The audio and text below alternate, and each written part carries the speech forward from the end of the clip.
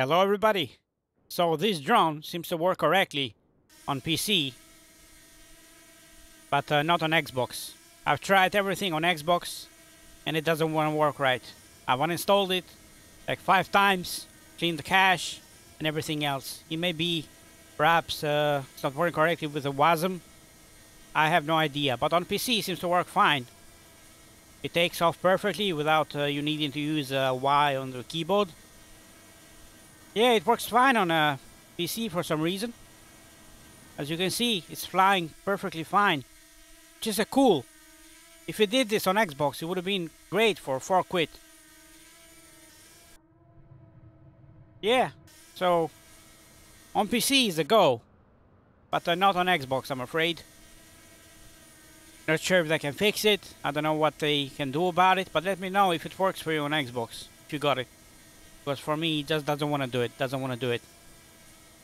But yeah, uh, I think uh, they've given up on uh, on this version of uh, Flight Simulator. I think they're focusing all on the 2024. What they're gonna do about that.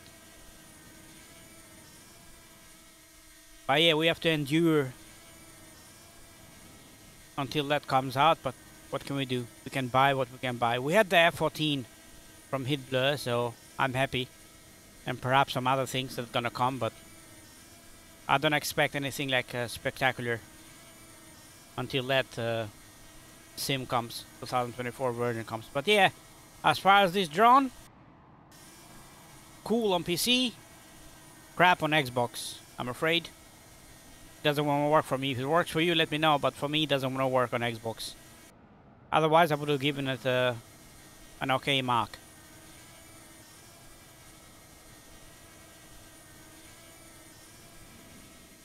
But when it works, it works.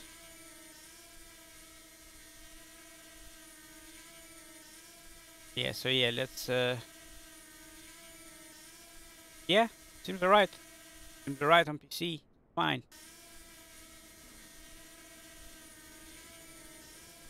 Just a drone anyway, it's not like a... Nothing spectacular, it's not a aircraft, just a small drone, 4 quid. Just uh, something to have fun anyway. Uh, don't expect anything like crazy about it. But yeah, it's cool. When it works. Uh, but not on Xbox, I'm afraid. So thumbs up on PC, thumbs down on Xbox. Sorry to say. So take care guys. See you soon.